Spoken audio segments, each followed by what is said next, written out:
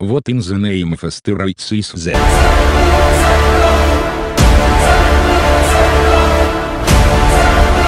Did bro literally, it's the stone part of the net.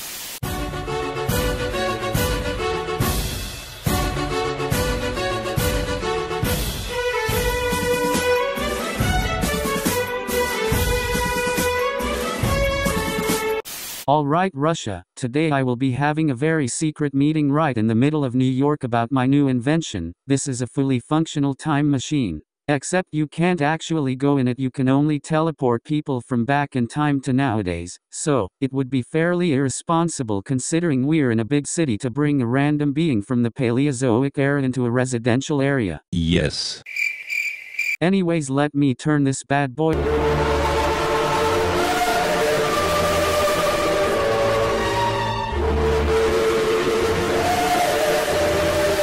Sir, there is a clinically insane combination of continents rapidly approaching at our location. What are we gonna do? Just send him to Poland. But, but sir, that's just going to kill the entire population of Poland. You, you can't do that. Like, I'm pretty sure that's a war crime. Well, into the box he goes.